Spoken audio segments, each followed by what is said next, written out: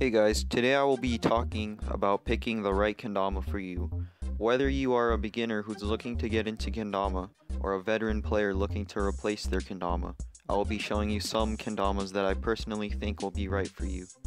Number 1. Ozora Ozora is a strong staple in the kendama community and is highly respected by many of the world's top players. They are known for producing an extremely playable kendama that is great for beginners or the seasoned pros.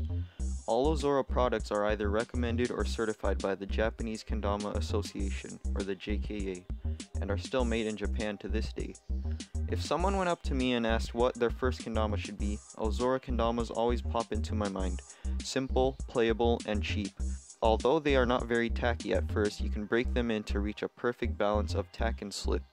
I would recommend getting a classic Ozora rather than a premium colored Ozora. This is because the classic Ozoras are slightly cheaper than the premium ones, although it's your choice. Number 2. Kendama USA Silk Kaizen. The silk paint and the Ken shape make this Kendama USA produced Kendama one of my favorites. Right out of the box you can feel how smooth the ball is and how tacky it is. In my opinion, it's a bit too tacky out of the box. It's hard to adjust the Ken's position during a lighthouse or balance trick, but if you are a beginner and haven't touched a kendama, the tack should wear down as you play and will still be playable. They're affordable and durable. Take care of it by not dropping it often and it'll surely be one of your best kendamas. Number 3. Natural Homegrowns.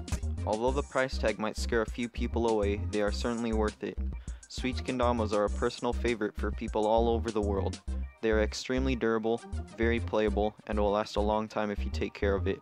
If you're an experienced kendama player and have never owned a homegrown, I would recommend trying one out.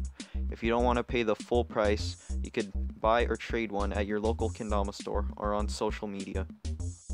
So those were my three picks. Links to buy these kendamas will be down in the description.